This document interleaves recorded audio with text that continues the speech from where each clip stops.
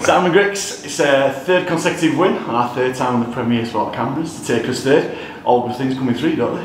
ah, you've done well there, Mike. Well done. Um, yeah, I thought we did. We played really well. Um, showed some real character and togetherness, which is always nice to see. And you know, going to some them dark places, they pay off later on in the season. You know, you can repeat it. So maybe that's you know the performance at Barrow that that brought that out of us there. So that's nice to see. We've got that in, in abundance as well. Um, yeah, and in the grand scheme, it's a pretty good win.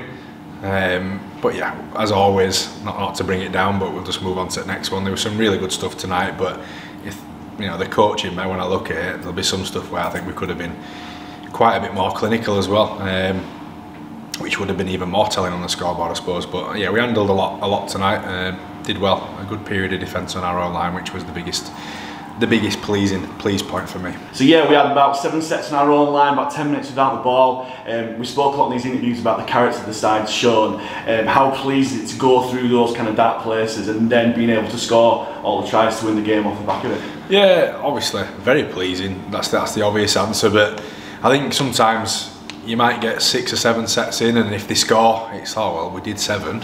Um, it, it's it's tough to keep turning up and and they did. So a lot of credit to each of them. I know obviously Keyes gets the man of the match, but I think across the board there's some unreal performances. Brandon Moore, 80 minutes, captain's knock again. Um, overlooked because he didn't get the ball over the whitewash this week, but yeah, there were a lot of good stuff, and we did score some pleasing tries. I thought we did our own work well. Not patting myself on back there, but you know we had a good look at them, and we knew where well we felt we could we could expose some some space and and get our speedmen into the right areas after the middles did some really good work. So on the whole it's good performance. Uh, you, you, know look back to Dewsbury and straight after the game I'm, my questions are well basically a statement really saying I might as well not bothered this week? Because you've just done what you wanted. Uh, whereas tonight we've all bought into a plan this week and, and they've gone out and executed it really well. Is it encouraging as well getting towards the end of the season where there isn't necessarily an obvious man of the match, an obvious like one person who's done it. It is a team effort going forward. Yeah, it definitely shows we're in decent form, we're in sync, singing from the same hymn sheet. Um, you know, now the thing is we've got a couple of bands to, you know, to deal with, um, a couple of knocks to deal with um, and keeping everyone healthy and in a competitive state, if you know what I mean, in the sense of we don't want to get down to just having 18 and having the team pick itself. We want enough numbers to keep everybody on the toes and ready to go. So, um, yeah, there's a long way to go yet. I think I may have agreed with Premier Sports tonight when they mentioned it's a big game, but I think everyone else made it a big game. I think for us, we just got on this week and done our job, focused on us. We looked at some bits from York, as I said, which, which paid dividends, but I think we're, you know, we're in a good place at the minute. It won't last forever, um, and that's when we need to have done enough um, to drag ourselves through some tough periods. It's the same in any 80 minutes. Each team will have a say at some point. You've just got to be good enough to back them away. We're in there, so. Lots of eyes on us tonight, obviously on Premier Sports the last couple of weeks and two really impressive performances. Is it kind of getting to the lads about the, the underdog spirit that we've kind of shown throughout the season maybe or because obviously the more eyes that are on us, we could become from favourites. Is it an, an, attitude shift kind of thing? No, I think the underdog stuff.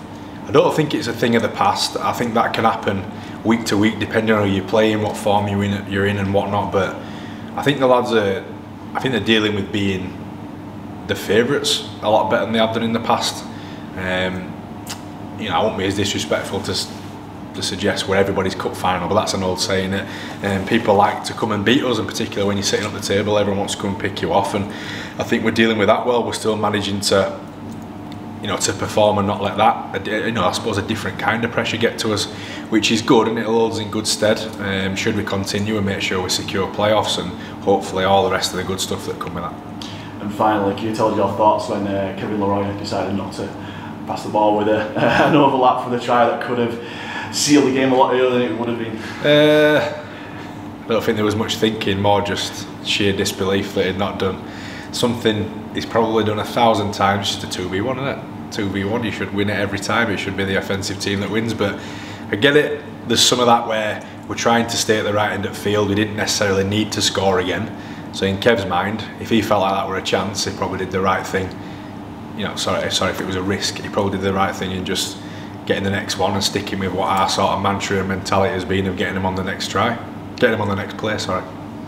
And we saw a really loud and boisterous South stand tonight. How important is it for the fans to, to pat themselves in and also cheer the lads on? Yeah, they deserve a pat on the back tonight. I thought it really good, particularly in that period of defence. Really nice and loud. Um, I've definitely mentioned uh, in other interviews, I'm not sure if we've said it between us, but I think you go back to the COVID time when we were playing and there were no fans.